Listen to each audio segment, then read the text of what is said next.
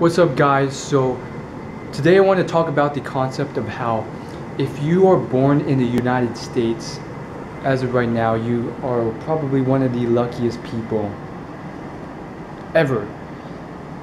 And I think this is knowledge that should be put out there because a lot of people don't realize this and even if you're not born in the US, let's say um, United Kingdom or wherever um, a lot of these places they are just getting better and better every year. So as we progress as a nation the later you were born if you're born in 2014 you had it a lot better than those in 1990 those in 2000 those in the 1950s and it's just crazy like basically what's going on here is that um, as Warren Buffett says um, our GDP and GNP are growing at a percentage, and that, that percentage basically causes more efficiency and better living standards and better, you know, goods and services to be provided to us, and oftentimes at cheaper prices or at better quality.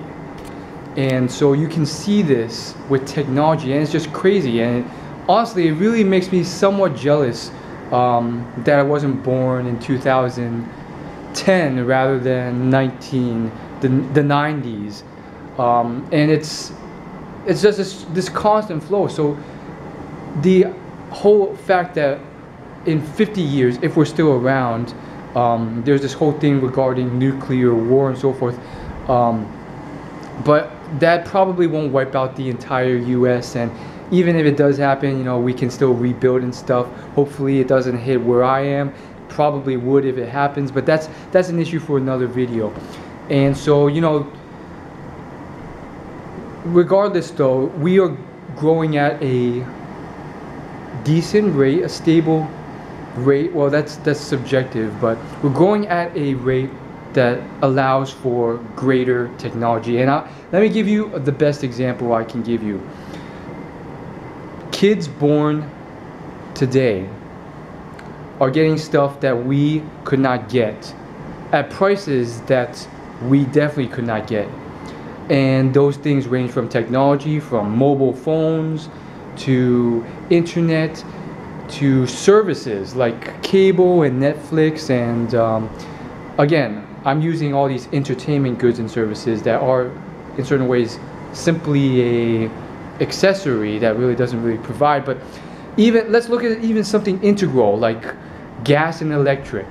All these things, um, by the nature of capitalism, every single year, every decade is improving for the consumer so that they're coming at you at either better quality or cheaper prices. Why? Because that is the nature of competing businesses to stay ahead, to stay at the top, to stay at number one with its competitors, it has to provide these items to the consumer, the American public or the United Kingdom or uh, whatever country you're from, in a way that the consumer chooses to spend its money on this product rather than this one. And so this constant race for efficiency, similar to natural selection in biology, but different in the fact that in natural selection there's no real, you know, perfect form that we're evolving towards. But regardless, the whole idea though is that this constant competition, which is good for the business in the fact that they make more money and good for the the consumer because now they're getting stuff that boggles their mind that you couldn't get 20 30 years ago that you probably didn't even hear about and it excites me it makes me jealous as well i'll tell you why it excites me because who knows what the next 10, 20, 50, let alone 100, you know, a thousand years will bring if we're still around. The, the sheer, like the, the pace of technology and the stuff that's come about in my lifetime, it's just like this. It's, it seems to be growing exponentially, rapidly. Like, um, I think when I was born, if you mention the internet or uh, the iPhone or cell phones, or, which were called mobile phones back then, which actually they didn't really even exist back then. and all these things they, they didn't happen. And then they're just constantly these new stuff pop up. Then you got google facebook all this crazy stuff on the computer. It's blowing up and i i am astounded as to what will happen in the next years. And, and again it makes me jealous that i wasn't born later but you know when you've already been given and gifted so much you can't complain and again you know it's it's a crazy thing, and it's it's tough to not be jealous, but it is how it is, and it's it's amazing. I don't think people realize what's going on, and um, I see it in people who are in elementary school now. They're getting all this stuff that 10, 20 years ago those kids didn't get from the education level to all the technology that education has provided. There's all these new tools for learning faster, learning better, making it more fun. Um, then they have all these new forms of entertainment to make their lives more fun in a way. Um, at the same time, uh, some of that fun is a sort of subjective word because you know the you know TV, cable, Netflix, all that stuff, internet, cell phones, texting is that really fun or does that really make you happier? So again, I guess that's one way to convince me not to be jealous. But regardless, I think it is somewhat true in a way. Um, but that's again a topic for another day uh, to debate about. And so the whole point of this is that um, I find this whole you know system very interesting in a way. Um, I'm not going to comment on if, it, if I think it's the best system, if it's better than communism or whatever, but uh, this capitalistic society of America, it, it, really sort of provides great stuff, and I think um, it it can really lead to great things. Uh, one other quote that Warren Buffett uh, has used is that um, we had a system that worked and he's talking about America. And he said, We weren't smarter than anyone else. We didn't have something that someone else didn't. Well, technically, we did. Um, he didn't say that, but he said, We weren't smarter than anyone else, and we didn't work harder than anyone else. We had a system that worked. And that just blows my mind because um, I think other nations like China are catching on and they're replicating our system and some of them work harder. Not all of them. Um, I think America, ha- at least American kids, have this idea, this perception of the stereotypical Asian uh, to be this super hard worker, super smart in mathematics and so forth. And I joke around with some people. Um, I think I heard this quote from another Asian person I knew uh, in school, and he said like, he said all these smart Asians came to America. It's kind of funny, and um, I think it's it's one way to retort that whole fear that you know China's taking over, um, because there's there's dumb Asians, there's dumb Asian Americans, um, and there's probably dumb Asians in China too, and so forth. Uh, you get the whole variety of people, and um, I think yeah, I think I, I do think that a, a good proportion a great percentage of the smartest Asians from China may immigrate here. Like I see a whole ton. Like they are coming here to study. They're coming here for graduate school, uh, some for undergraduate school, um, and so uh, that was one of the, uh, the points postulated by uh, this guy called Mark Cuban. He's a billionaire, and he said like, look at the education system. Until the Chinese stop coming here for education, then we can't say that it's it's China's taking over or whatever. Um, but yes, I'm kind of going off topic, but you know, just one last quote for those of you who are interested. Uh, there's this um, there's this uh, speech that Charlie Munger, who's the uh, co-chair with uh, Warren Buffett, he gave a few years ago, and in it he said he spent a good deal of the speech talking about passing the baton, and he, he was pretty much like, "It's time for us to pass our baton." Rome did it. Greece did it, blah blah blah. It's time for us. I, I don't know if he said Greece actually, but uh, he said it's, it's it's time to pass the baton. So he was pretty much hinting at the fact that maybe, you know, America's getting stale. I don't think that is the case as of yet. There's there's still so much stuff coming out. I recently attended something, uh, this sort of uh, um, presentation with the CEO of Oculus Rift, um, who recently uh, was acquired by Facebook. Facebook's going to help the company. It's not going to control the company and direct it, which I think is a great move. Um, I've seen some acquisitions such as Disney with Club Penguin, who just after they acquired it, they just took over, they controlled everything, and it ruined the, the game. And um, the Facebook is apparently not doing this with Oculus Rift. If you don't know what Oculus Rift is, it is a virtual headset. You put it over your eyes, you see virtually. Uh, they're still, you know, working out the kinks, updating it. Uh, I don't know if it'll take off. My thoughts are not anytime soon, um, if ever. But again, those are my opinions. Um, but again, you know, these are those these those crazy things that are happening. We don't know what the world's going to provide, but I feel like there's dram- dramatic potential out there. We've we've just hit the tip of the iceberg with the new stuff: Facebook, the internet, Instagram, Twitter, and again, a lot of these things are just accessory entertainment things. But again, there there have been some crazy stuff that have been helpful, Wikipedia and so forth. Anyhow, long story short uh, be very thankful for when you were born and the later you were born. Uh, don't complain that you're young or that you know uh, you were born so late. Don't complain that you were born in you wish you were born in the 1950s or so forth. You probably don't. And um, there's this one thing. I want you guys to search it up. It is this thing. I tried to record it when I was in Disney World, but I could not because they don't allow you to. But maybe some guy was able to do it on YouTube somewhere. Uh, there's this there's this ride. Well, it's not really a ride. It's sort of like a thing where you just spin around. Um, and I forgot what it was called, but it was it was in Disney World, and it, it was called something like. Uh, it's it's a great big wonderful tomorrow or something like that, and basically there's there's a song that was playing throughout this ride, and it, it went something like that. It was like, "It's a great big beautiful tomorrow," something like that.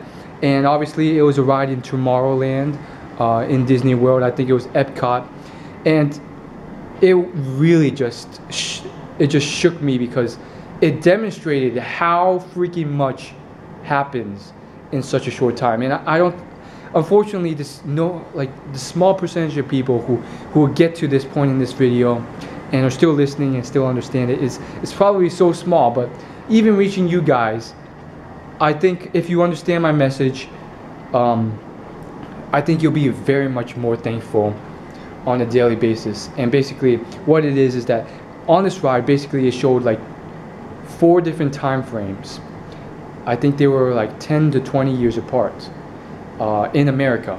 It was like the, it started at the 19 like 40s or 50s, and then the last time frame was sometime in the future, uh, which was somewhat far fetched, but at the same time not that far fetched. It was crazy because all the stuff was like literally like like feasible. Like they even had like a virtual reality headset like Oculus Rift, which was recently acquired by Facebook. Anyhow, uh, the first three or four time frames, which range from like the 1950s to like the 1980s.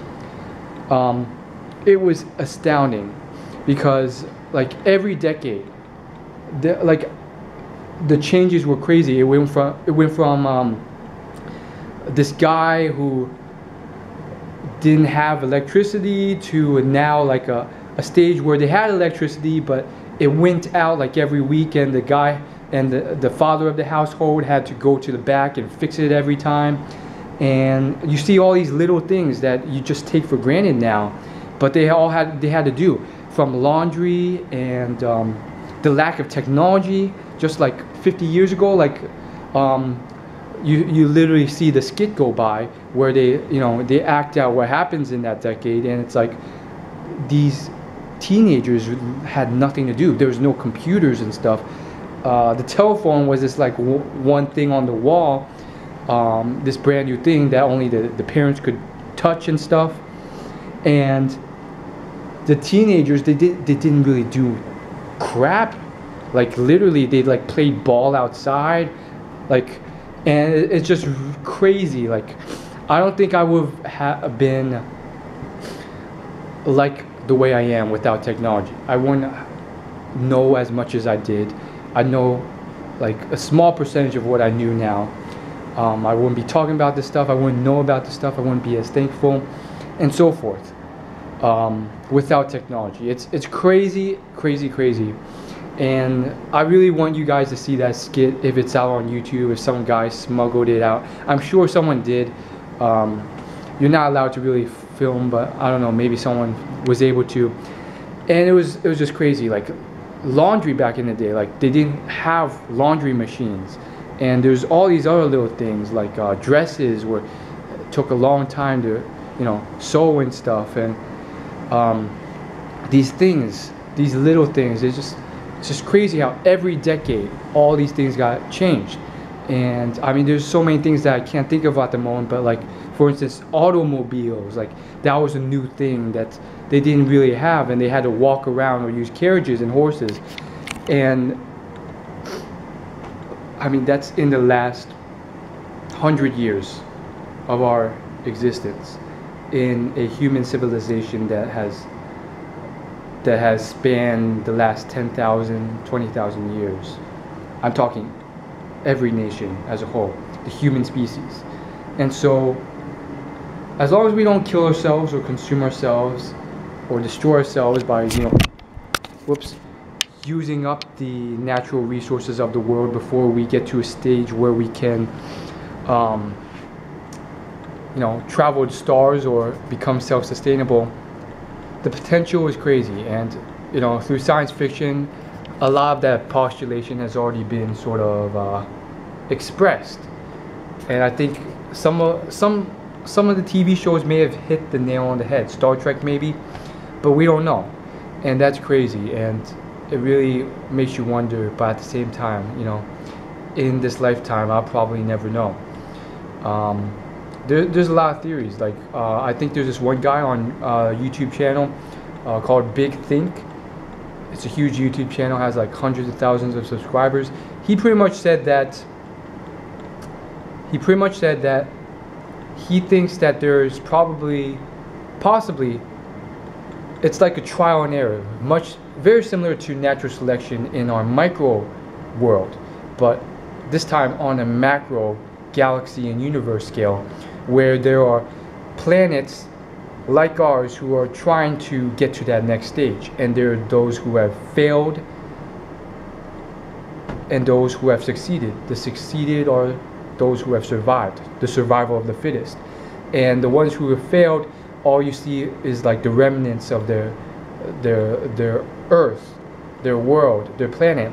And it's it's just like this polluted atmosphere where they tried to achieve the technology to become self-sustainable before they ran out of resources and they failed and it's that's that whole thing of um, survival of the fittest in a way where you need a goldilocks planet that's just right. Not too hot not too cold to produce life.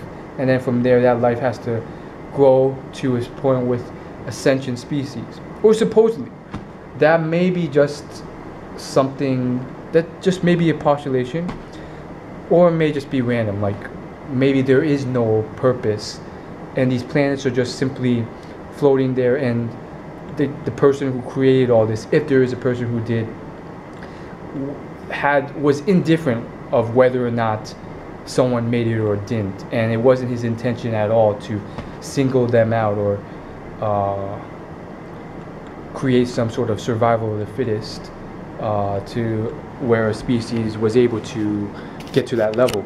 Anyhow, uh, again, I've gone off topic, but that's all I really want to say. As always, like, favorite, comment, subscribe. Leave your comments, feedback below if you want.